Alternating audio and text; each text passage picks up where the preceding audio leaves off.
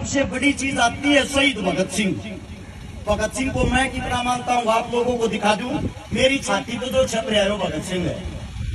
मेरी छाती पे जो छप रहे हो, भगत सिंह है। मेरे लिए, मेरी माँ से, मेरे बाप से बढ़कर। भगत सिंह है। जिसको मैंने पढ़ा है और जिसको पढ़ के मैंने बहुत कुछ सीखा है।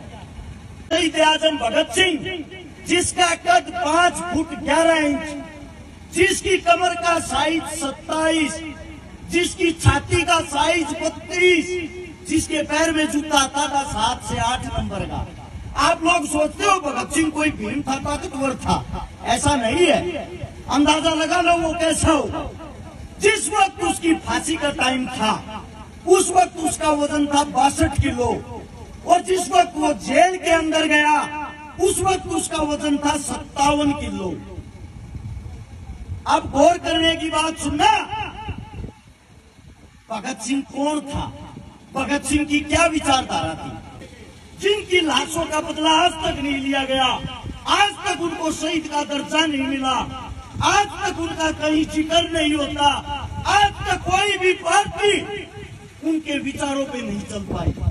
उनके सबसे पहले विचार थे, हम सब एक हैं, हम सब इंसान हैं, कोई भी सरकार आए आप लोगों को हिंदू, मुसलमान, जातिवाद में बांट के, धर्मवाद में बांट के लगाती रहेगी, आप लोगों का फ़ायदा उठाती रहेगी।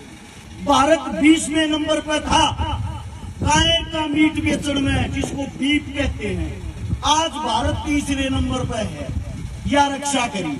जितनी गाय पहले कटती थी, उससे तीन गुना बढ़। गई आज लिम्पी नाम की जब बीमारी आती है हमारे देश का प्रधानमंत्री, हमारे देश का राजा बाहर से चीते लाता है। मैं पूछना चाहता हूँ कहा अपने बाप की शादी में लेके जाएगा उनको? क्या कमाएँगे वे? उनके पास इस बात का कोई जवाब है? क्या काम आएँगे उनके लिए वे?